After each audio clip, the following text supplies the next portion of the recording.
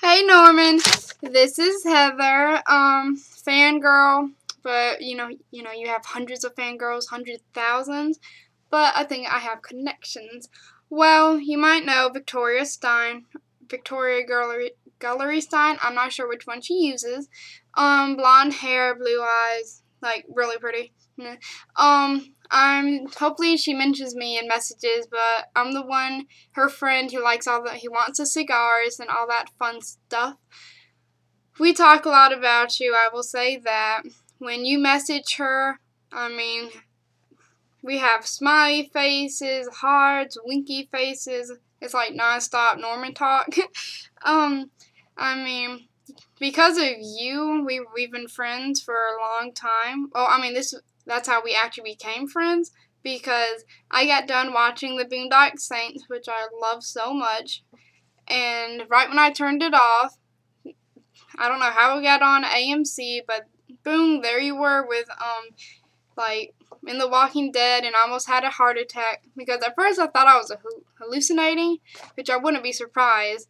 Um, and then I asked a lot of people on Facebook, and boom, Victoria says, yeah, he's in The Walking Dead, and we become friends and everything. So I thought that was pretty cool. Um, happy birthday. I know your birthday's on Friday. Must be really cool. And I kind of want to get my birthday wishes out. This is my first video. Like, I try, usually I get Victoria to talk to you, because I'm usually always lazy. Well, not lazy kind of shy. Um, this took me a lot of courage to do this, and I'm surprised I'm not laughing too much.